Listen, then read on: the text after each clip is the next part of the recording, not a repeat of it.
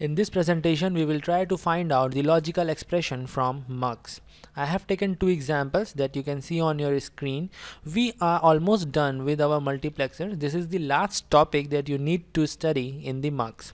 And uh, as you already know the basic concept of the multiplexer so this lecture isn't going to be very hard for you so let's start directly from the first example in which you can see there is a 4 cross 1 mux right? And there are definitely four inputs to it and two selector variables a b. A b is the selector variable.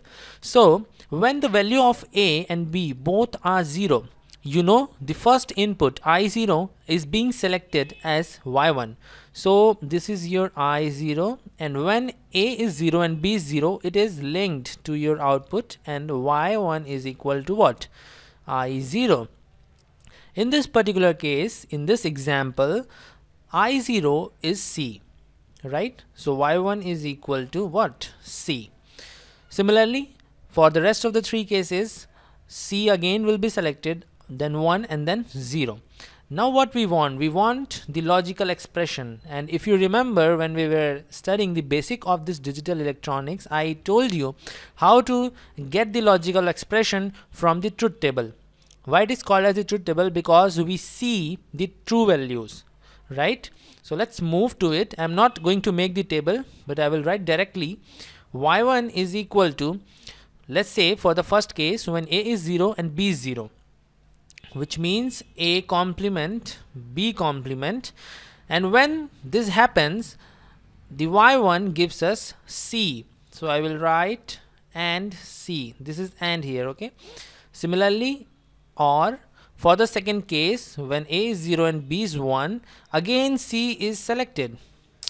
So a complement and b and c. For the third case when a is 1 and b is 0 1 is selected. So a and b complement and 1 now we are writing the values from the truth table so it is written only for the true values and uh, when both are 1 0 is being reflected as the output which is not true. So there is no need to write the fourth min term but if you want to write it you can write a and b and 0 this thing because of this 0 is equal to 0 and 0 or with anything gives the same thing. Fine so let's minimize it. Here I'm having a complement C taken as common. This a complement C and a complement C are common in the first two terms. So I'm left with B complement or B. We are having a B complement.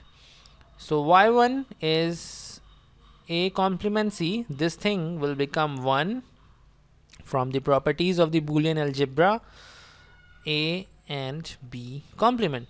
So this is the logical expression that we were trying to find out in this first example.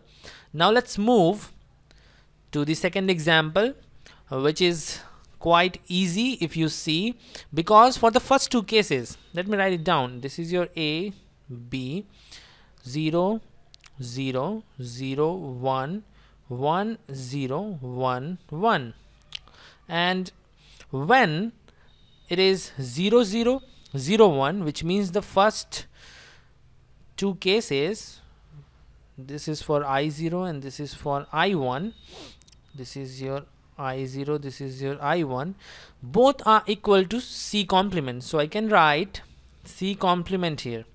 This is your output y2 similarly for the last two cases i2 i3 they are equal to c. So i can write c. Okay. So let's minimize it. Y2